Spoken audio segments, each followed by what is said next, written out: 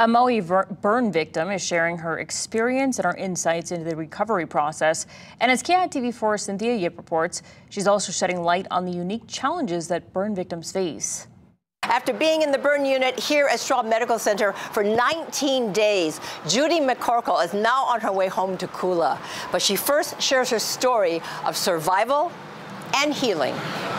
The bottom of both feet are were completely burned and then the sand came up over the feet. So there were blisters on the top of my feet and all of my toes were, were burned. So they've been very, very careful here at the burn unit to make sure and keep the toes separated so that the, the process of the process of burn healing is really not pretty.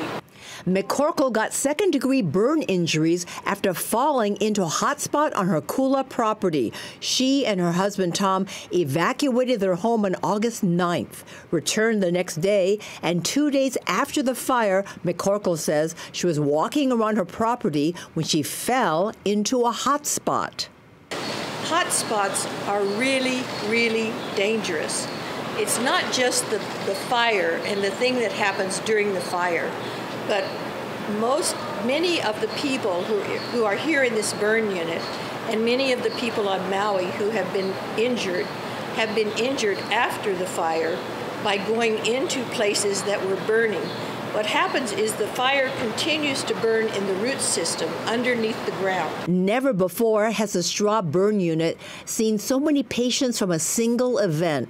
A total of nine patients received second and third degree burns, over 10 to 70 percent of their bodies. Their stories, like McCorkle's, underscore the resilience needed to rebuild lives after a catastrophic disaster. A lot of dressings, a lot of pain, um, including her rehab. I mean, she had to learn to, you know, to walk again.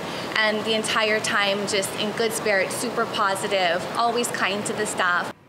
McCorkle and her husband are heading back to their Kula home and dog Winston.